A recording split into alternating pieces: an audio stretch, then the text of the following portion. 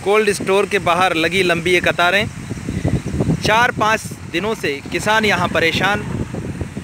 जो भाड़े के ट्रैक्टर और ट्राली लेकर आए हैं, एक हज़ार से दो हज़ार रुपये प्रतिदिन का किराया बैठ कर दे रहे। इस आलू की त्रासदी से पूरा ये जनपद बाराबंकी परेशान। ये तस्वीर आप देख रहे हैं कुर्सी कोल्ड स्टोर की। यहाँ के मालिक स्टोर की चाबी लेकर नदारद हैं। वो जानते हैं किसान मजबूर है, उसको रखना है और अनावश्यक रूप से उन्हें प्रताड़ित कर रहे हैं। यदि वो चाहें तो पूरा शेड खाली पड़ा है, इसको फटाफट रख सकते हैं, पूरा स्टोर खाली है, लेकिन अनावश्यक रूप से किसानों का उत्पीड़न किया जा रहा है।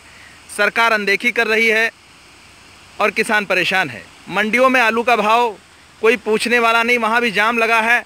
किसानों के हित की बात करने वाली ये सरकारें और ये शासन प्रशासन की सारी व्यवस्था आज फेल दिखाई देती है।